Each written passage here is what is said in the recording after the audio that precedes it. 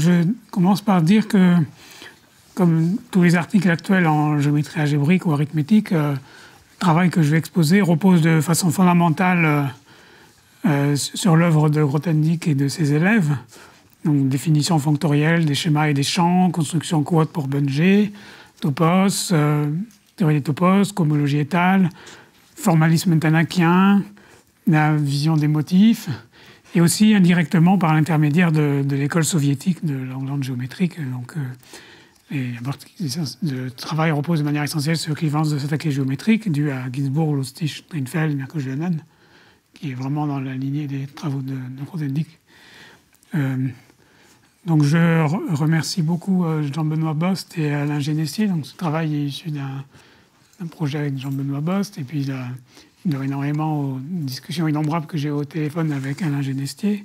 Je remercie aussi Denis Guesgoury pour une discussion que j'ai eue avec lui.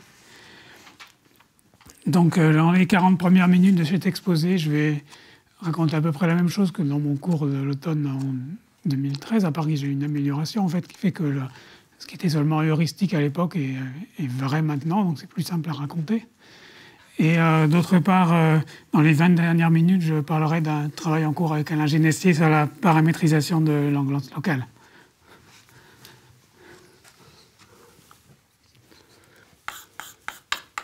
Donc je prends FQ, un corps fini, X, une courbe projective lisse, géométriquement irréductible, sur FQ.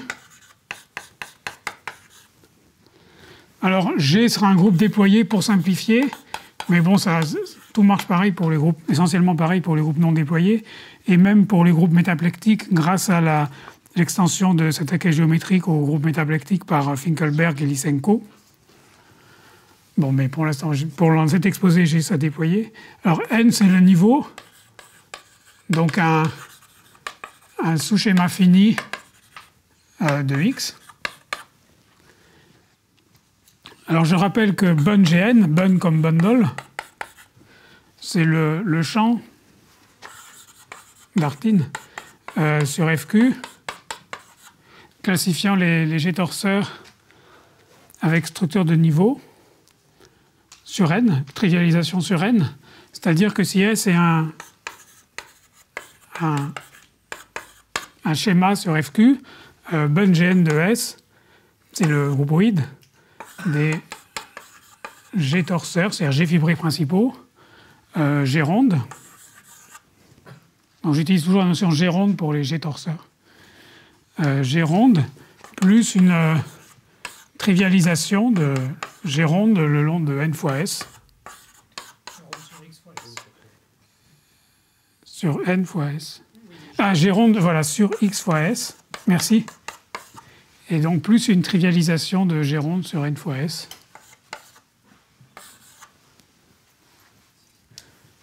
Donc le fait que c'est représentable par un champ d'Artin dépend de la construction quote de Grothendieck.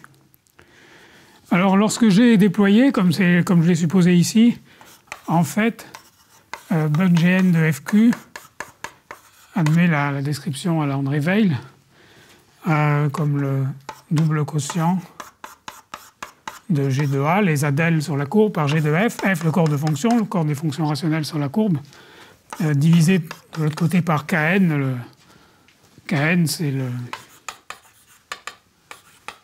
noyau de G de O, les adèles entiers, vers G de ON, la, la note des fonctions sur N.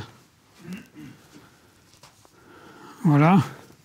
En général, c'est une union finie de, de quotients adéliques pour des formes intérieures de G une union finie indexée par le ker1 de FG, mais dans le cas déployé, il n'y a, qu'un seul terme. Euh, pardon? Il semble que vous considérez des torseurs qui sont rationnellement triviaux. Non, triviaux pour la topologie étale. Pour la topologie étale Oui. Mais les, doubles cossettes, l'espace de double classe paramétrise les torseurs pour la topologie de Nisner. Exactement, mais dans le cas déployé, c'est pareil, parce qu'il y a euh, Kotwitz et puis un, Vietnamien dont j'ai oublié le nom dans le cas des corps de fonction, qui ont montré qu'il y a une dualité entre le Ker1 de FG, et il y a une dualité entre Ker1 de FG et le, le, Ker1 à valeur dans euh, Z du groupe dual.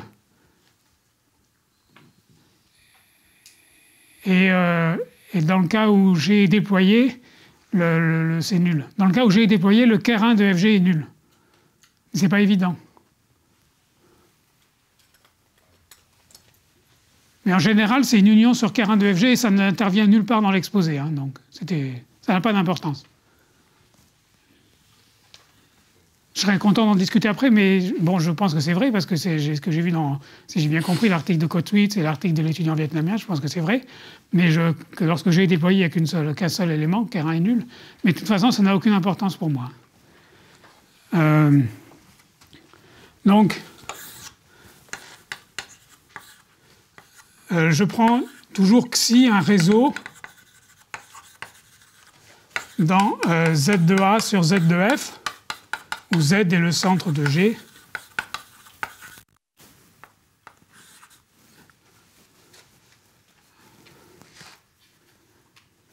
Et puis, le, donc, euh, le, la première partie de l'exposé a pour but d'établir une décomposition de l'espace des formes automorphes cuspidales sur bonne GN de FQ donc on divise par xi, ça a l'avantage que, ça, ça donne un espace vectoriel de dimension finie. Une décomposition en, somme directe finie, donc d'espace H sigma, stable par les opérateurs de Hecke, où sigma est un paramètre de Langlands, euh, c'est-à-dire une classe de conjugaison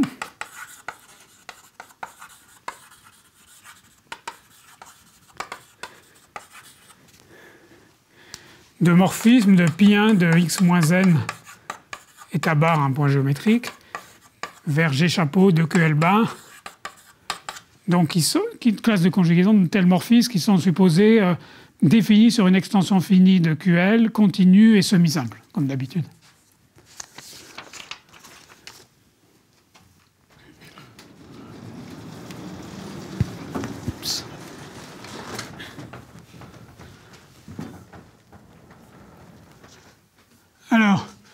si Euh, est un schéma sur FQ et G est un G-torseur sur X fois S, on note tau G, euh, l'image inverse de G par l'identité de X fois le Frobenius de S.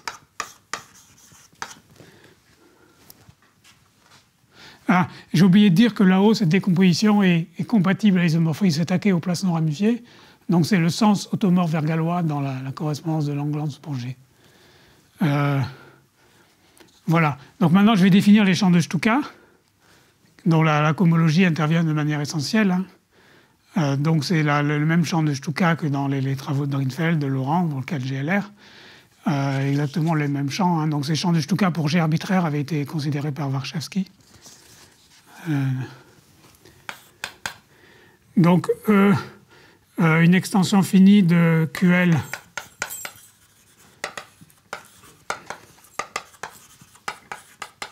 qui contient une, racine de Q, hein, à cause de l'isomorphisme attaqué qui fait intervenir une racine de Q. Et puis alors, I, un ensemble fini. Donc les, les, les champs de Stuka euh, vont être indexés par I, un ensemble fini, et W, une représentation irréductible de G chapeau puissance grand I. Donc G chapeau, c'est le groupe dual de Langlands, euh, qu'on suppose défini sur QL ou sur E. Donc, euh, W étant une représentation irréductible, c'est un produit tensoriel de représentation W. Je mets, je mets, ça comme un produit externe pour dire qu'on le voit comme représentation de G chapeau puissance grand I. Alors, le, cas des Stuka de Drinfeld et de Laurent, c'est le cas où I égale l'ensemble à deux éléments, donc G égale GLR, et W, c'est la standard dans standard étoile.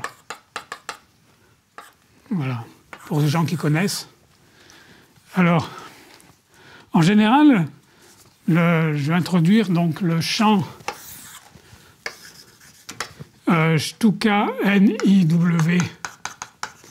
Alors, j'ai besoin d'un champ un peu plus général que euh, ce qu'on imagine en premier abord à cause de l'action des formules partielles. Donc, euh, j'ai besoin de choisir I1 et K. En plus, donc je me donne en plus un entier K.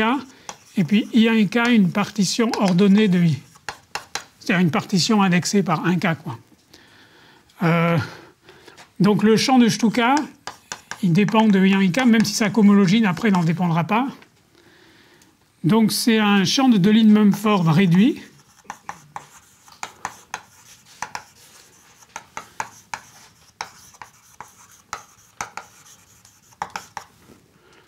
Euh, dont les points sur S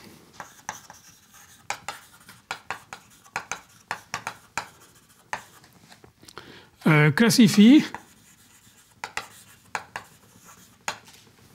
d'abord les pattes du Stuka donc le 0 est le pôle dans le cas de Drinfeld et Laurent. Donc les pattes sont des morphismes de S dans X pour I dans I. Les pattes sont indexées par grand I. Et puis une, suite de modifications de G torseur. Donc les modifications, je les note par des flèches, mais euh, vous allez voir quel sens ça a exactement, la flèche. Hein. G0, G1,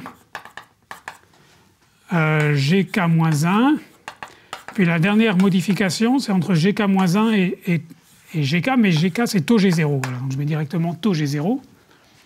Donc une suite de modifications, qu'est-ce que ça veut dire? Donc les GI sont des G torseurs sur X fois S. Puis les modifications ont lieu le long des graphes des XI. Donc plus précisément, phi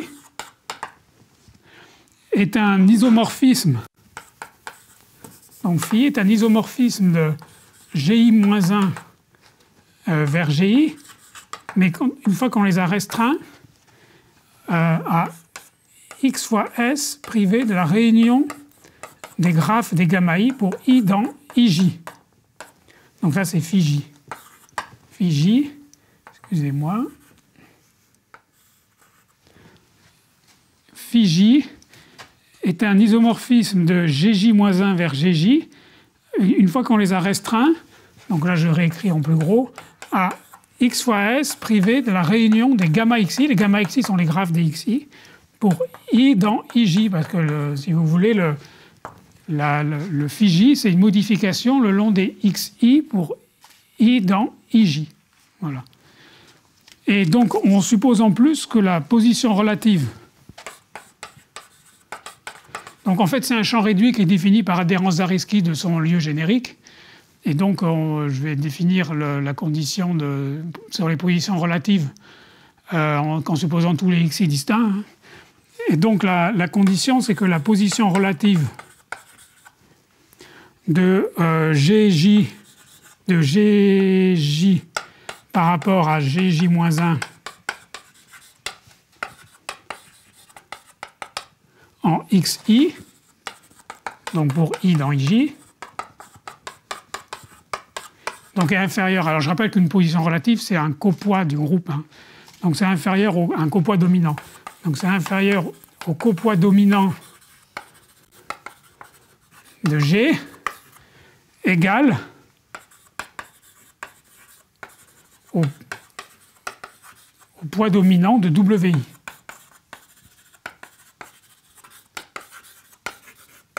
Donc on s'est donné une représentation au départ euh, WI euh, de, G chapeau, donc elle a un, poids dominant. les poids de G chapeau sont des copoids de G par définition du groupe dual de Langlands. Donc voilà la définition du champ de Stuka.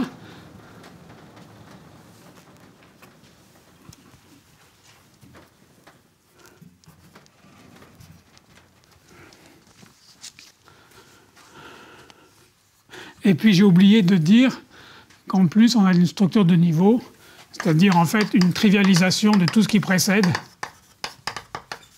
sur n fois s. Donc là, la structure de niveau, cette trivialisation, elle est telle que le champ Stuka NIW, donc avec niveau n, s'envoie en oubliant la structure de niveau vers le champ sans niveau. Et que ça, c'est un G de ON torseur. Euh, là, j'ai oublié quelque chose d'important. Euh, c'est que les pattes sont en dehors du niveau. D'accord euh, Il manque une virgule, virgule pour i dans i. Donc pour chaque i, la patte xi, c'est un morphisme de s, de, s vers x privé du niveau. Hein, d'accord Les pattes là ne touchent pas le niveau. Alors. Donc les Stuka avec niveau, c'est un G2, G2ON torseur, donc un revêtement étal fini des, du champ de Stuka sans niveau. Alors le champ de Stuka est un champ de ligne même forme, mais il n'est pas de type fini. Donc on introduit les troncatures. Alors en, fait, pour mu, un, un de, de G adjoint, parce qu'on veut garder l'action du centre pour pouvoir quotienter par xi. Donc la troncature, c'est par le copoids de G adjoint. Donc on, introduit le champ Stuka, bon je réécris pas tout, hein, inférieur à mu. Euh, le, donc le, on suppose donc la condition c'est un ouvert défini par la condition que le, le polygone de Harder-Narasimhan de G chapeau, enfin plutôt de, du, GA, du GA de torseur associé à, G, 0 est inférieur à mu. Donc je répète, euh, je ne sais pas pourquoi j'ai dit G chapeau. donc c'est l'ouvert défini par la condition que le polygone de Herder-Narasimhan de G0, plutôt enfin le, G, le GA de torseur associé à G0 est inférieur à mu. Et donc avec cette condition, la... Ça c'est type fini Alors disons quand on quotient par xi. Donc le Stuka NIW il y a un cas quotienté par xi euh, est, un, est, un, donc de, type, est un champ de deux lignes même fortes de type fini.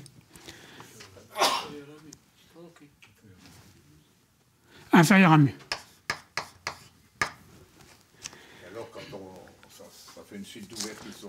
une suite d'ouverts et puis on définit, la, on prend la limite inductive après des commuges sport compacts tout simplement. Alors, donc, il faut comprendre, on va prendre la cohomologie d'intersection, mais en fait, c'est important de comprendre les singularités, bien sûr, qui sont en fait celles des Grassmann affines, et c'est ça qui fait le lien avec euh, cette attaque géométrique et les faisceaux d'intersection des strates fermées dans les Grassmanniennes affines.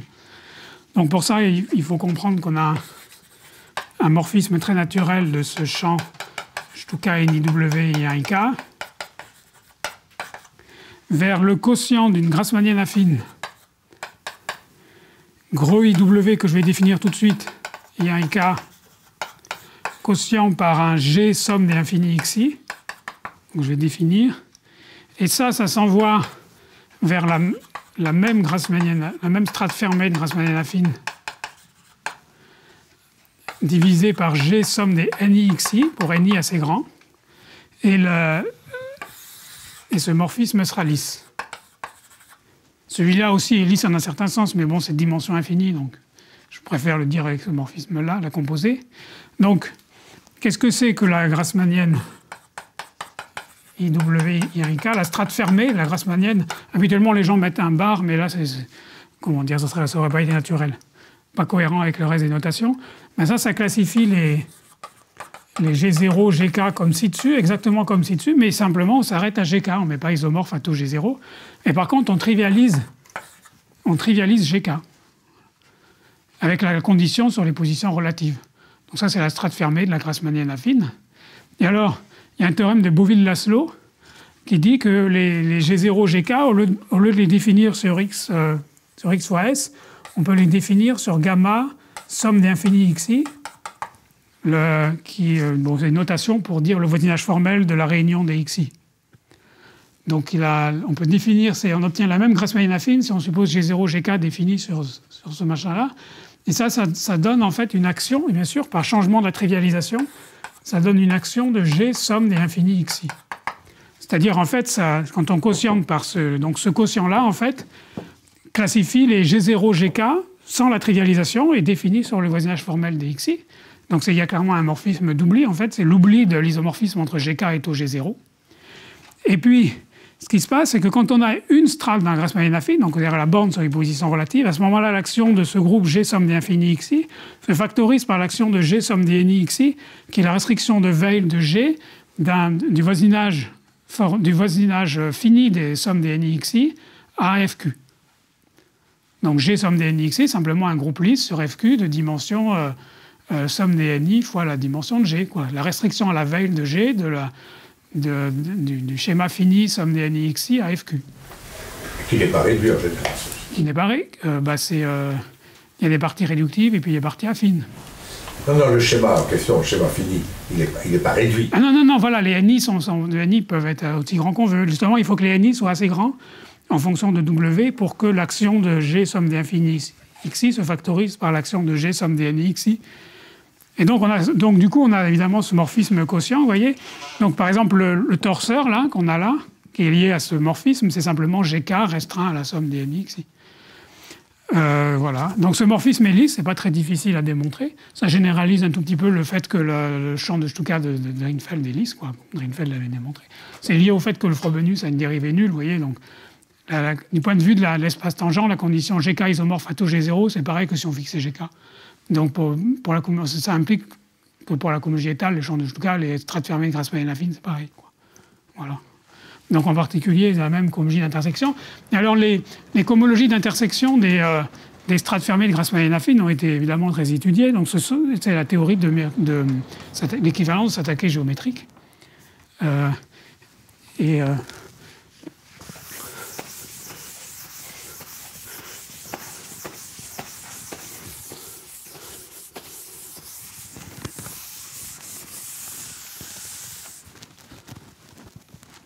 Donc je vais énoncer cette attaque géométrique avec plusieurs pattes. Donc en général, si on a W, ça permet de rendre les choses beaucoup plus canoniques en fait.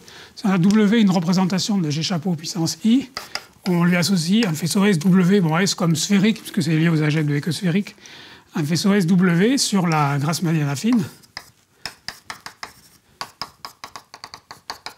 qui est en fait le faisceau d'intersection en fait, qui est le faisceau d'intersection de la Grassmannienne affine, mais qui est vraiment défini canoniquement en termes de W, c'est fonctoriel n'est pas seulement associé à la classe isomorphisme, opération irréductible W. Elle, elle a dit faisceau pervers. Donc c'est faisceau d'intersection, faisceau pervers sur la Grassmann affine, euh, sur la strate fermée. Euh, donc là, voilà.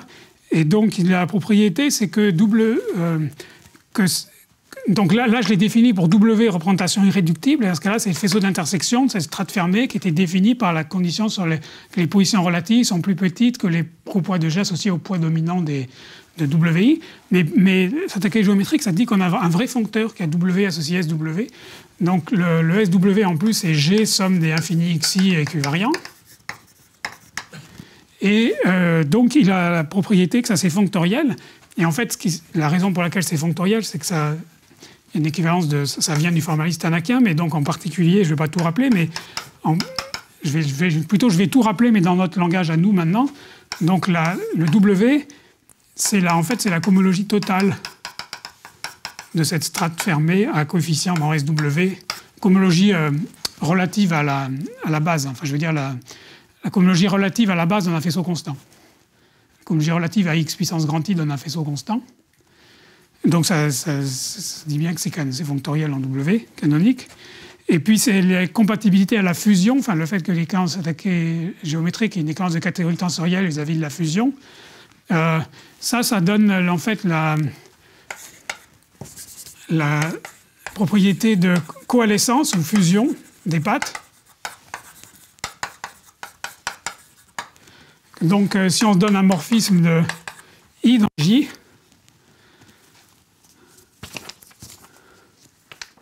zeta. À ce moment-là, on en déduit un morphisme que je vais appeler delta de zeta qui va dans l'autre sens, de xj dans xi, qui est une espèce de morphisme diagonal généralisé, qui a une famille xj associée à la famille des x euh, zeta de i pour i dans i. Et donc, ce qui se passe, c'est que la, la quand on restreint donc la, la grassmannienne IW, I1, IK, bon, je, vais l'énoncer avec une partition grossière, ça sera plus simple. Donc gros I, IW, euh, quand on restreint à XJ,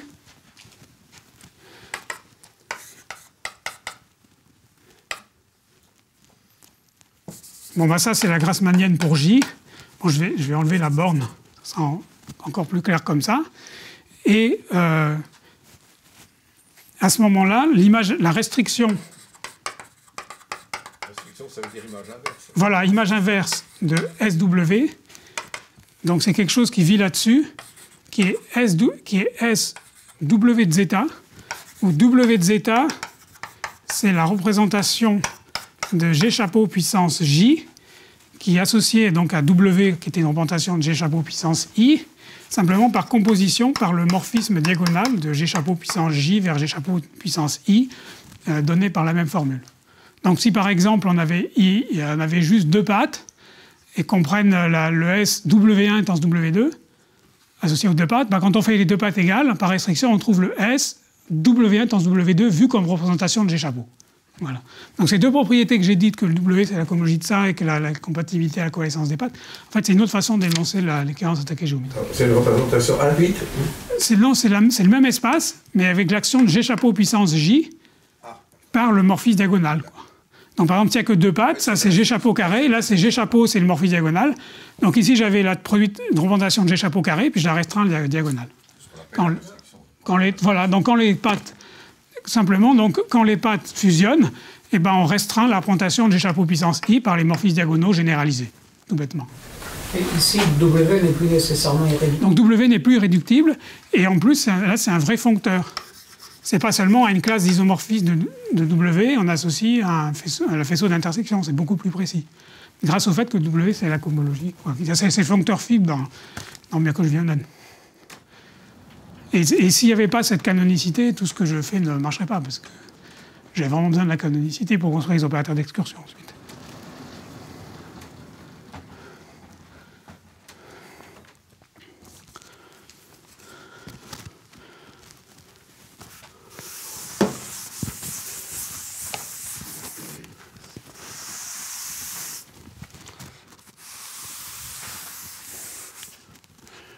Donc là, je vais garder seulement ce morphisme-là, que je vais appeler alpha.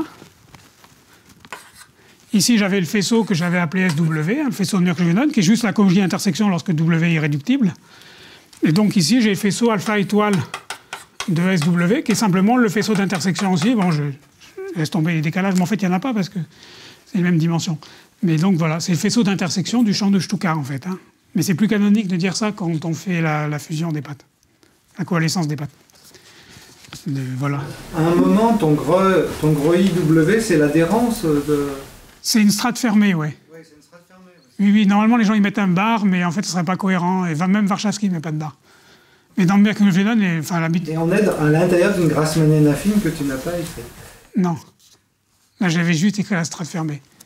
La Grassmannienne affine, en fait, j'avais écrite là qu'en enlevant le W, quoi. C'était censé dire que je prenais toute la Grassmannienne affine. En enlevant le W. Oui, oui.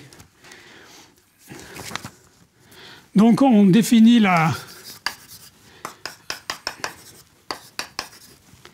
le faisceau de cohomologie de ce champ de Stuka. Donc si j'appelle P le morphisme du champ de Stuka, hein, j'ai divisé par xi, donc champ de Stuka NIW, I1, IK inférieur à mu, euh, je l'envoie vers les, pattes. Donc le morphisme qui a un Stuka associe ses pattes.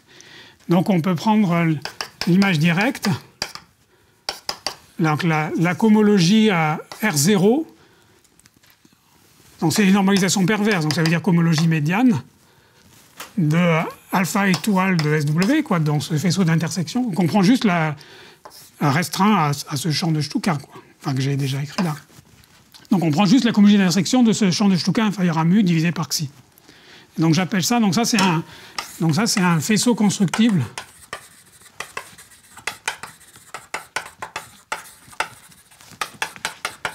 sur x moins n à la puissance grand I. Et donc, euh, c'est fonctoriel en W grâce au fait que, le SW était fonctoriel en W. Et en plus, ça vérifie la propriété de coalescence comme conséquence de la propriété de coalescence que j'ai j'ai écrite là-haut. C'est-à-dire qu'en notant toujours euh, delta de zeta, là, ce morphisme diagonal de xj vers xi, ou de x moins n à la puissance j vers x moins n à la puissance i, bon, bah, le, il y a un isomorphisme canonique que je vais noter kit zeta entre le delta de zeta étoile du faisceau H, N, I, W inférieur à mu et le H, N, J, W de zeta inférieur à mu. Donc c'est un isomorphisme de faisceau constructible sur x moins n à la puissance j. Et c'est canonique, très important. Alors maintenant, je dis un... On se tire toujours au sens élatique, bien sûr. Voilà, c'est un isomorphisme de faisceau constructible éladique. Il n'y a plus de commun- il n'y a plus d'intersection. La homologie est déjà faite. hein. La homologie, donc c'est juste un faisceau constructible. euh, Là, il n'y a plus de faisceau pervers parce qu'il n'y a pas de normalisation perverse. qu'on est, là, c'est ainsi comme un système local sur un ouvert, quoi. Comme ça, qu'on, et, et c'est de là qu'on va tirer des représentations de Galois. De Galois du corps de fonction. Alors, il y a quelque chose qui est magnifique, qui est dû à Greenfeld. C'est le Frobenius partiel euh, sur les Stuka. hein. Euh, donc là, là, je l'écris dans un cas plus général que Drinfeld, mais il n'y a aucune idée nouvelle. Donc, on a le, si on prend I1, bon, I1, on a le Frobenius partiel associé à I1 qui va de Stuka I1 IK euh, NIW vers le champ de Stuka avec une permutation circulaire des partitions I- associé à NIW, pareil. Euh, donc il y a un Stuka G0, G1, GK, jusqu'à pardon, GK-1 taux G0. Donc à ça, on associe un permuté circulaire. Donc on commence par G1, etc., jusqu'à taux G0, puis après taux G1. quoi. Donc on voit que si on fait ça qu'à fois, on obtient le Frobenius total. C'est pour ça qu'il s'appelle Frobenius partiel. Euh, donc en général, si ici j'ai inférieur à mu, bon bah ici j'ai seulement inférieur à mu plus k parce que bon bah comme on a mu c'était le polygone de Harder-Riemann de G0, mais on a remplacé G0 par G1. Mu plus K, qu'est-ce que ça veut dire? Euh, mu plus kappa où kappa dépend de W quoi. C'est parce que le G1 étant une modification de G0 avec une position relative bornée, le polygone de G1 est borné en fonction de celui de G0. Du K ou du K, pardon. Oui, oui, pardon. Moi, je crois que j'ai. Non, je crois que j'ai dit K, oui. Et donc, euh, avec le théorème. Ah oui, alors ce- ces morphismes de Frobenius, ils agissent très bien sur les, les faisceaux d'intersection, bien sûr, et, et même plus canoniquement sur les faisceaux SW, parce que les faisceaux SW, on aurait pu les définir en, en, en envoyant le champ de Stuka, non pas sur une strate, mais c'est un produit de strate correspondant à chaque modification, et à ce moment-là, sur ce produit strate, le, le Frobenius partiel correspond à faire Frobenius sur certaines strates et pas sur d'autres strates. Et d'autre part, dans la même veine, je fais remarquer que ici, le Frobenius, il- le Frobenius partiel, il Frobenius les pattes associées à, la modification de G0 vers G1 et, il fait identité sur les autres. Donc, si, si j'appelle Frobien, justement, le morphisme de la courbe, euh, ou de la courbe moins n à la puissance i vers elle-même, a xi associe x'i avec x'i égale xi si i n'est pas dans i1 et frob de xi si i est dans i1, donc Frobenius partiel sur la, puissance de la courbe, euh, à ce moment-là, donc par un changement de base propre essentiellement, on en déduit un morphisme que je note cette fois-ci fi1 euh, du, de l'image inverse par Frobien de ce faisceau HNIW inférieur à mu euh, vers HNIW inférieur à mu plus kappa. C'est pas exactement le même kappa, mais enfin, à peu près. Ça va plutôt dans l'autre sens, à cause du Frob étoile, mais bon. Donc le- les Frobenius partiels agissent sur ces faisceaux HNIW, mais en augmentant mu, ce qui est important pour la suite. C'est une petite source de difficulté.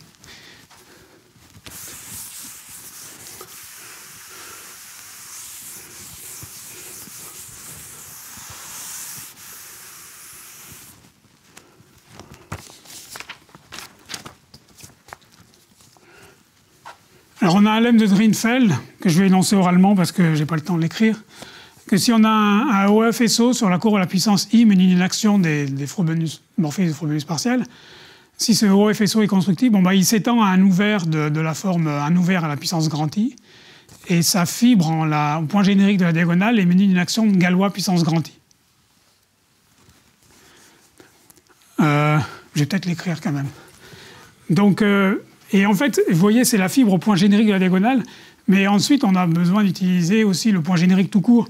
Donc, j'appelle état un point générique de la courbe, état bar un point géométrique dessus, et puis état i un point générique de la courbe à la puissance i, état bar i.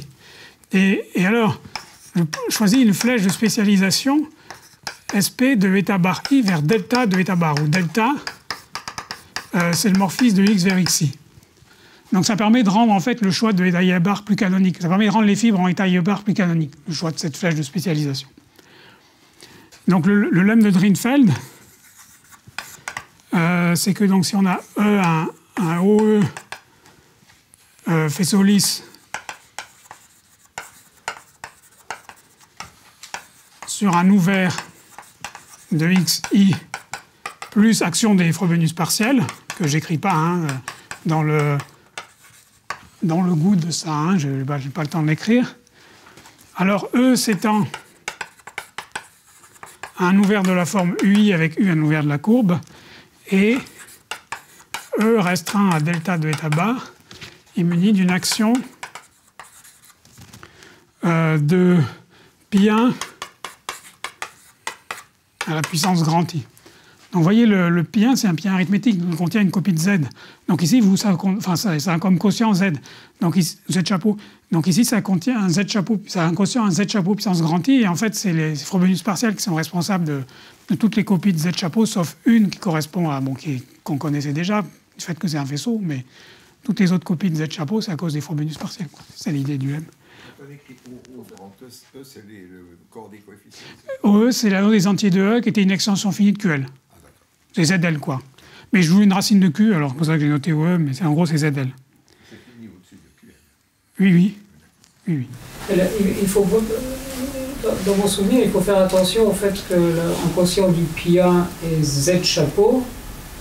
Et euh, donc on a une action, pas exactement du pi1, mais de. Non, mais là, c'est un OE faisceau, c'est pas un E faisceau. Ah, d'accord. Voilà. Et alors, euh, donc le, problème pour appliquer cet énoncé, c'est que si on prend la limite inductive, c'est dimension infinie. La limite inductive des cohomologies DH inférieure à mu, c'est dimension infinie. Et le frobenius partiel augmente mu. Donc a priori, on se dit ça ne marche pas. Et alors, pour le faire marcher, on a besoin d'une propriété de finitude. Alors d'abord, on impose une propriété de finitude vis-à-vis -vis des opérateurs de Hecke. On va s'intéresser à des classes de cohomologie qui sont une propriété de finitude vis-à-vis -vis des opérateurs de Hecke. Donc la cohomologie cuspidale vue comme cohomologie des Stuka sans pattes, parce que les fonctions automorphes, c'est les formes automorphes, enfin, oui, je devrais le dire. Ça, il faut que je le dise quand même. Donc, oui. Juste pour comprendre une remarque que, que je viens de faire, tu la limite inductive sur quoi? Sur mu. Oui. Donc le, le Hn, ensemble vide trivial, inférieur à mu, c'est les fonctions sur bonne Gn de Fq sur Xi. Les Stuka sans pattes, c'est comme les fibrés sur Fq, parce que, voilà, à valeur dans. Et alors, euh, si je passe à la limite sur mu, j'obtiens une fonction support compacte. Voilà. Donc maintenant, ce que j'appelle éque fini,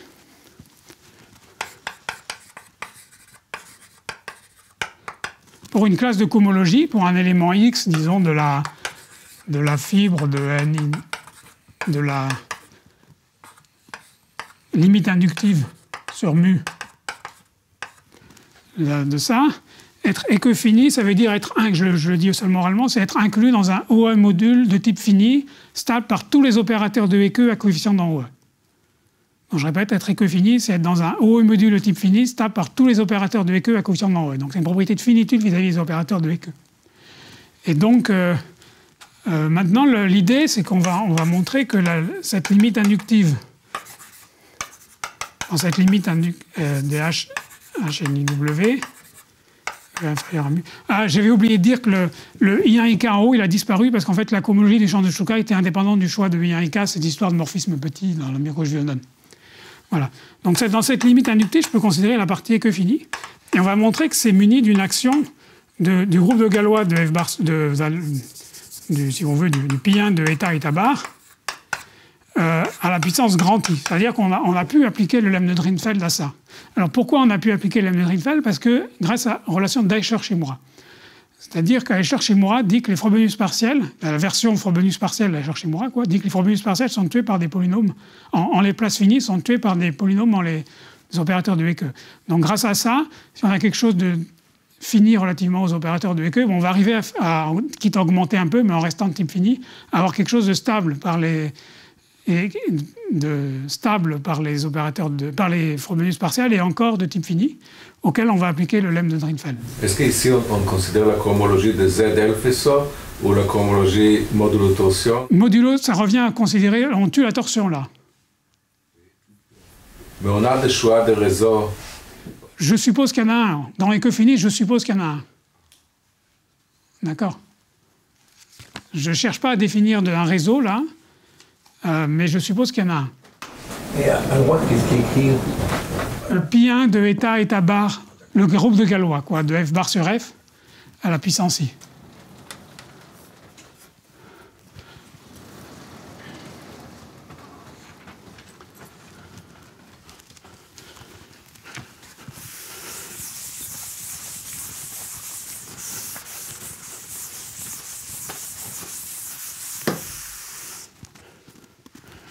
Donc tout ça, c'est dans un article de Servet de 57 pages, hein, qui est sur Archi, qui est très lisible.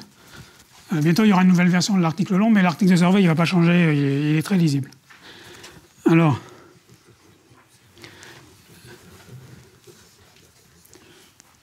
Donc je vais énoncer Eichler-Shimura quand même en une minute.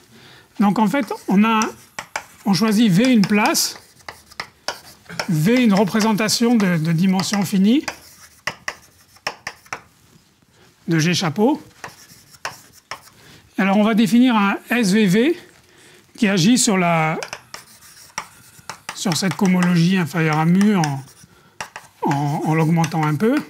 Un morphisme de faisceau donc, qui change mu en mu plus kappa. Donc comment on le définit?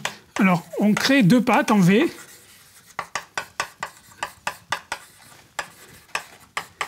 par le morphisme de la triviale vers V tens V étoile.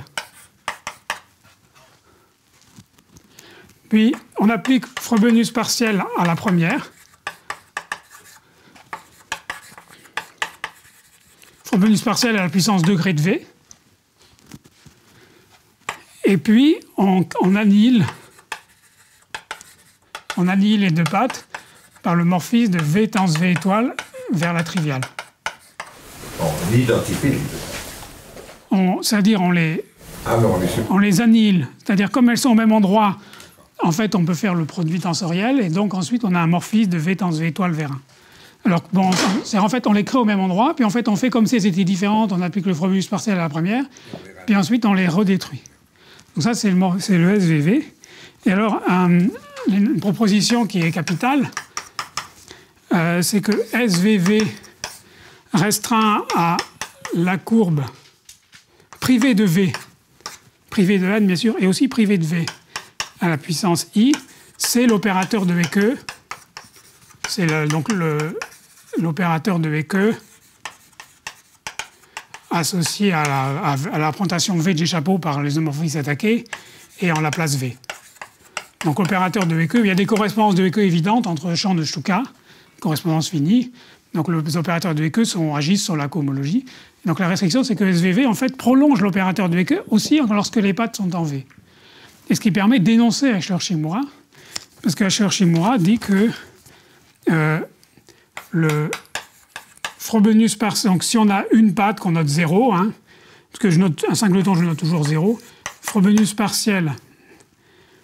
Euh,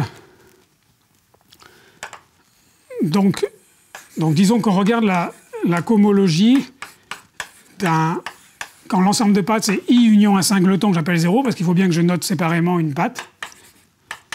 Donc avec euh, la représentation W, représentation G chapeau puissance i, dans V, représentation de G chapeau. Donc là, on fait la limite. Fait la limite sur mu. Donc le frobunus partiel associé à 0, puissance degré de V, degré de petit v, il agit là-dessus. Et donc l'énoncé, c'est qu'il est tué par un polynôme en les SVV. En les, un peu plus précisément les S lambda i, tué par un polynôme dont les coefficients sont les S lambda i VV. Voilà, c'est l'énoncé d'Achor-Shimura, ça généralise Achor-Shimura classique. Et là, c'est grâce à la définition de SVV, c'est une preuve, c'est pareil que la. C'est vraiment très élémentaire, c'est une preuve tensorielle de Hamilton-Kelly, rien de plus. C'est Hamilton-Kelly, en fait. Euh, voilà. Quand on écrit F exposant W, c'est à, FQ, enfin, je veux dire, le F du corps de base élevé à la puissance. Non, là, c'est F, c'est le Frobenius partiel. F0. Le degré de W rho, ça signifie quoi? Le degré de la place, sur FQ. Ah, oui, mais je veux dire, mais pour F, qu'est-ce qu'il signifie? Une puissance euh, Oui, c'est une puissance. C'est-à-dire F0, c'est le Frobenius partiel, c'est le morphisme de Frobenius partiel qu'on met à la puissance degré de V. F0, c'est le Frobenius partiel en la pas de 0 qu'on met à la puissance degré de V. C'est une puissance. Oui, oui, oui. Alors. Donc j'ai déjà expliqué, je ne vais peut-être pas donner les détails, je l'avais déjà raconté dans mon cours en automne 2013, que donc grâce à ce lemme d'Achor-Shimura, l'écofinitude implique une finitude par rapport au morphisme Frobenius partiel, il permet d'appliquer le lemme de Drinfeld, d'où une action de, de Galois puissance I. Alors c'est une action de I sur la, fibre en état I bar. Mais maintenant on s'intéresse à la fibre en delta de état bar, d'abord parce qu'elle est plus canonique, et ensuite parce qu'elle marche beaucoup mieux évidemment pour une isomorphisme de coalescence. On fusionne les pattes, c'est bien d'être sur la diagonale déjà. Et donc on va s'intéresser au, morphisme de SP étoile. Donc on rappelle, je rappelle que SP, c'est une flèche de spécialisation de état I bar vers delta de état bar. Donc SP étoile, je vais, appeler ça l'image inverse par la spécialisation. SP étoile euh, va de euh, la, donc la limite inductive des H NIW inférieur à mu en delta de état bar euh, vers la même chose en état I bar.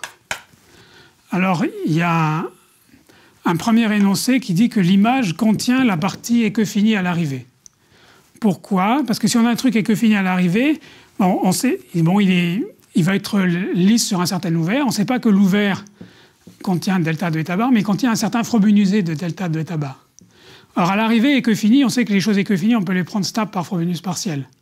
Donc si on a, si on a un, sous, un sous-module qui est fini, de type fini, qui est stable par Frobenius partiel, si on sait qu'il vient d'un Frobeniusé de delta de état bar par spécialisation, comme c'est stable par Frobenius partiel, il va aussi venir de delta de état bar par spécialisation. Donc l'image contient la partie écofinie. Alors la, la, nouveauté par rapport à l'année dernière, c'est que j'ai montré qu'en fait c'est toujours injectif cette chose-là. Donc c'est toujours injectif, ce qui fait d'ailleurs que sur les parties écofinies, ça va être bijectif. Et c'est ça qui m'intéresse, que ce soit bijectif sur les parties écofines. Donc c'est injectif. Alors, euh, l'argument en, 30 secondes, c'est que si j'ai A dans le noyau,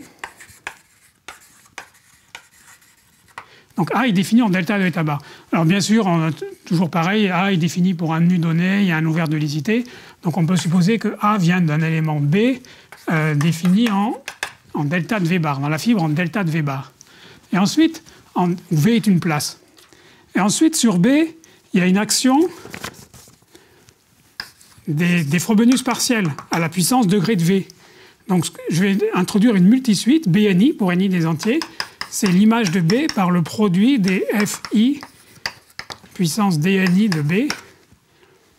Donc ça, ça appartient toujours à la fibre en delta de V bar. Et alors, et, puis maintenant, j'appelle ANI donc, quand j'ai dit que B venait de A, j'ai choisi une, flèche de spécialisation, disons SPV, de état bar vers V bar, et donc aussi de delta de état bar vers delta de V bar. Donc les ANI, c'est simplement SPV étoile de BNI. Et alors, la propriété suite ANI vérifie deux propriétés. D'abord, la suite ANI est multirécurrente, elle fait une relation de récurrence en chaque variable i, avec la, la relation, de récurrence donnée par des, des opérateurs de Hecke, par, les des SVV en fait. euh, simplement parce que BNI vérifie la même chose à cause de la chez moi, en V, pour chaque patte. Donc la suite ANI est multi-récurrente. Par ailleurs, la suite ANI est presque partout nulle. Parce qu'ici, ce qu'on a fait, c'est qu'on a fait une, flèche de spécialisation. Enfin, plutôt, on a, tiré en arrière par une flèche de spécialisation de delta de V vers delta de bêta bar. Puis ici, on avait le, ici, on avait le Frobenius partiel. On avait appliqué le Frobenius partiel, puisque BNI, c'est l'image de B par un Frobenius partiel. on peut faire commuter les deux. On peut faire d'abord une spécialisation par un Frobeniusé vers un Frobeniusé de, de delta de eta bar, puis le Frobenius partiel, qui permet de se ramener en delta de eta bar. Mais pour presque tous les Frobeniusés, l'image inverse par cette spécialisation va être nulle, parce qu'on sait que l'image inverse de B par spécialisation vers A et vers, et, vers ça, c'est nul. C'est-à-dire que B vers eta I bar s'envoie vers 0, donc s'envoie vers 0 vers presque tous les, les Frobeniusés à la diagonale. Voilà. Donc ça, ça prouve l'injectivité. Donc ça, c'est une amélioration importante par rapport à l'année dernière, parce que, je rappelle en deux minutes, que si je note HIW, euh, maintenant la partie est que finie de la cohomologie, euh, voilà ce que je vais faire. Donc, je sais que maintenant, si je prends la partie et que finie là et là, je sais que c'est un isomorphisme. Et je note ça HIW. Donc, euh, HNIW. Donc ça, c'est une représentation de Galois puissance grand I, avec des, propriétés, euh, très, propriétés de coalescence, qui est que HNIW est isomorphe à HNJW zeta, c'est pour chaque flèche de i dans j, en notant w θ, la représentation de g chapeau puissance j, comme tout à l'heure. Et en plus, les h ensemble vide trivial, ça, c'est égal à la, à la cohomologie cuspidale, parce qu'en fait, et que fini et cuspidale, euh, c'est égal aux fonctions, aux formes automorphes cuspidales.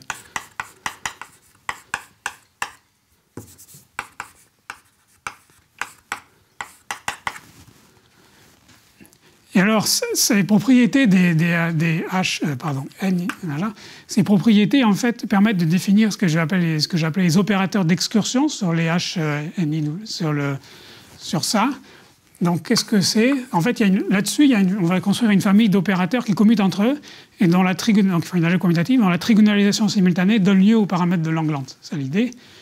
Donc, les, les H donc en fait, on dit que ça, c'est d'abord isomorphe à H en mettant un singleton à la place de l'ensemble vide. Hein. ça, revient à créer une patte, mais qui est purement fictive, donc ça ne change rien. Et puis là-dessus, on a les opérateurs d'excursion. Donc qu'est-ce qu'on fait? On prend W, une représentation de, de G chapeau puissance I, X dans W et Xi dans W étoile qui sont invariants par l'action diagonale.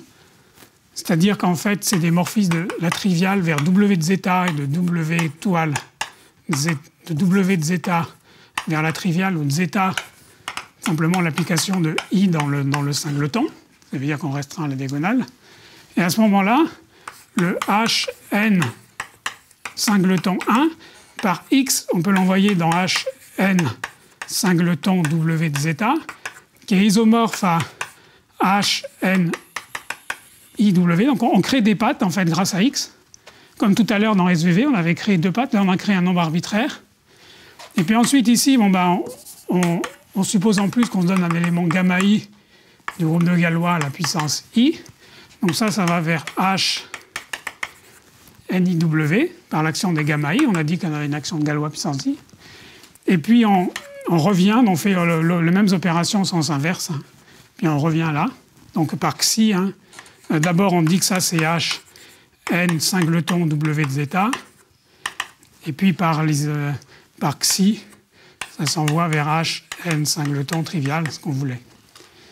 Donc ça, ça donne des opérateurs d'excursion que je vais noter S, I, W, X, Xi, gamma I, dont j'appelle qui commutent entre eux.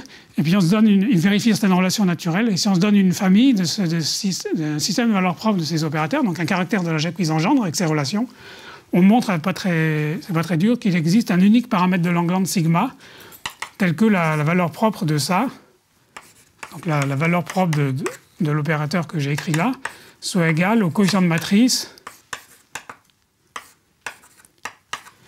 entre xi et x associé à la famille des sigma de gamma i. Donc ça, c'est un élément de g chapeau puissance i. Et comme g chapeau puissance i agit sur, sur x, on peut faire le coefficient de matrice avec xi. Euh, voilà. Euh, bon, si tout ça c'est défini sur QLBAR, si y a une version motivique de ça, serait défini sur QBAR, bien sûr. Je ne sais pas faire. Enfin, le H sigma serait défini sur QBAR. Alors maintenant, dans le temps qui reste, je vais parler du travail en cours avec, euh, avec Alain Genestier. Donc l'idée, c'est de montrer que euh, ça tient en un mot, hein, que lorsque les tous les gamma i sont dans, le groupe de Galois local, en une place V, inclus dans le groupe de Galois, S, I, W, X, Xi, gamma I est de nature locale. Donc, c'est-à-dire est donné par la multiplication par un élément du centre de Merstein, un élément Z, je mets les mêmes notations, hein, dans le centre de Merstein en V.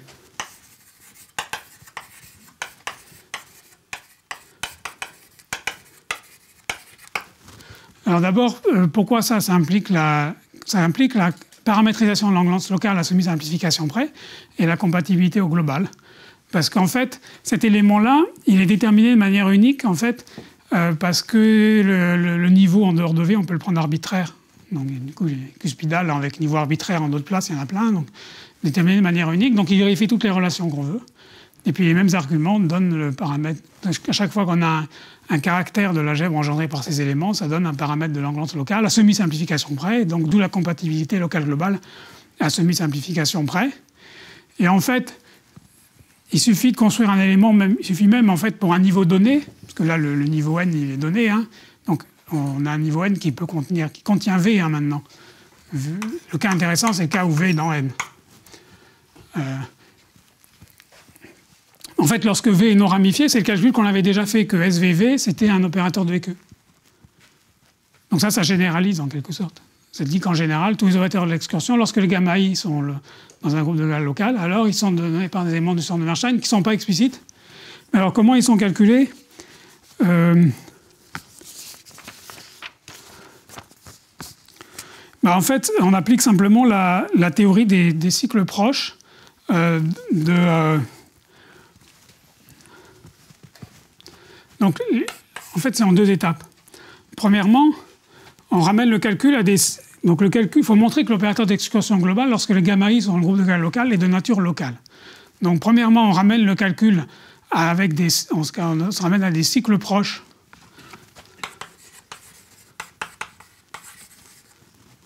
Donc, les cycles proches par rapport à une base qui est xi. Donc, c'est les cycles proches en dimension supérieure, hein, à deux lignes, Lomont, il y a un très bon survey d'Illusi, puis euh, Gabert et Orgogozo. Donc Orgogozo a montré les bonnes propriétés de ces cycles proches.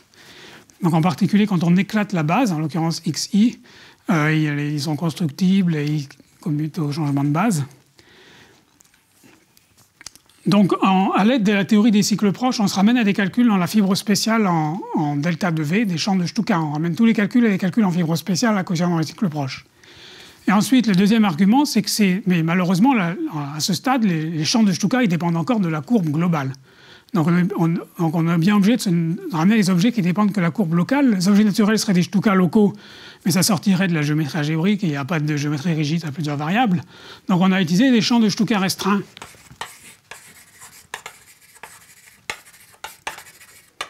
comme des barres tronquées. Donc l'exemple le plus simple de, de Stuka restreint, euh, ça classifie une, D'abord, GK, Donc GK, c'est un, un torseur en fait sur euh, G, c'est un, dire un, un torseur sur un certain niveau n, plus somme des ni xi. Et puis, où les ni sont assez grands. Et puis on se donne un, élément de la grassmannienne affine, en fait, de Bellinson-Drinfeld, tordu par GK. Et à la fin, G0, c'est un, un torseur sur n. C'est-à-dire qu'à cause des modifications, on perd de l'information dans les xi. Elle est mangée par les modifications, mais on a encore un torseur sur n. Et on se donne donc en plus un isomorphisme entre taux G0 et GK sur n. Donc ça, c'est l'exemple type de Stuka restreint. En fait, on a introduit les champs de Stuka restreint avec en plus une minute, ça va. Avec en plus des, euh, en rajoutant des, des images inverses des xi par les Frobenius partiels pour ensuite avoir de la réserve pour pouvoir avoir des morphismes de Frobenius partiels entre champs de Stuka restreint. Et ensuite, l'idée, c'est tout bête, c'est que les, les, les, morphismes du champ de Stuka global vers le champ de Stuka, donc je mets R pour restreint, tous ces morphismes sont lisses. Donc, euh, tous les cycles proches, en haut, euh, enfin, le morphisme, il aurait dû être vertical, hein, surtout quand on journée d'hommage mais là, j'avais pas la place. Donc, c'est tous les, tous les, euh, tous les cycles proches se calculent là, sur les champs de Stuka restreints. Et alors, je dois dire que euh, donc, la, la, donc l'article de Fabrice fait intervenir un éclatement. Et donc l'idée, c'est que on travaille encore une fois, on utilise les formules partielles pour pas travailler sur la diagonale, mais sur un formulisé très grand la diagonale, parce que les formulisés très grands la diagonale, euh, pour les donc formulisés par des puissances ni pour ni suffisamment grands, ils vont intersecter le diviseur exceptionnel toujours au même point. En fait, c'est assez stationnaire. Voilà, c'est ça l'idée. Et alors il se passe un truc marrant d'ailleurs, c'est que le donc on applique les cycles proches à des faisceaux qui dépendent du, niveau, bien sûr. Donc le faisceau dépend du, le, le niveau. L'éclatement de Fabrice dépend du faisceau. Les NI qu'on utilise pour les faire les Frobenius partiels dépendent de l'éclatement. Et comme les, et que partiels, comme ils augmentent le support dans les champs de Stuka, ça fait que l'élément de la jet de Hecke qu'on obtient a un support qui augmente euh, avec le niveau. Et ça, c'est nécessaire parce qu'à la fin, on a une distribution invariante. Donc l'éclatement de Fabrice, s'il n'y avait pas d'éclatement, ça ne marcherait pas. On aurait une contradiction dans les maths. Mais ça, c'était déjà connu qu'il fallait un éclatement. Hein, bon, je sais plus quelles sont les, euh, les références. Et une dernière remarque, c'est la, stabilité de ces éléments du centre de Bernstein qu'on obtient. Donc, c'est pas montré qu'ils sont dorés dans le centre de Bernstein stable, on ne sait pas le montrer. Mais on, on pense quand même pouvoir montrer qu'ils commutent aux foncteurs de Fragmentovan, quoi, qui sont constants sur les L paquets, en un certain sens. Quoi. Donc, c'est une forme de stabilité. Voilà. Bon, il comme vous savez, il y a des travaux importants de Scholze et d'autres là-dessus hein, en ce moment. Donc, ils essaient de faire l'analogue sur QP. Donc ça fait, c'est très topologique, quoi. Vraiment, ça repose fondamentalement sur la notion de topos de Grothendieck. Merci.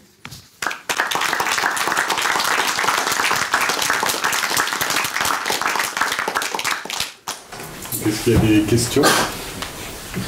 Juste une question pour les résultats de Fabrice. C'est formulé pour les schémas. Là, tu as besoin de. C'est vrai, c'est des quotients de schémas par des groupes algébriques. L'éclatement, c'est un éclatement de la base. Donc après, bon, j'ai posé la question à Fabrice. Déjà, bon, on pense que tous les objets qu'il construit sont dans la catégorie dérivée G équivariante. Enfin, pour un quotient d'un schéma par un groupe G. Comme tout est canonique. Et l'idée, c'est que l'éclatement, c'est l'éclatement de la base. Hein. Si c'était l'éclatement du schéma, ce serait catastrophique. Mais le, le groupe n'agit pas sur la base. Donc, bon.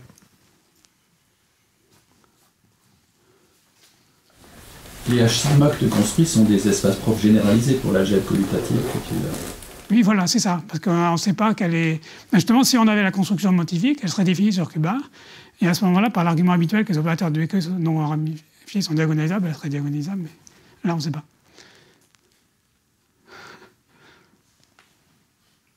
Question Merci encore une Merci.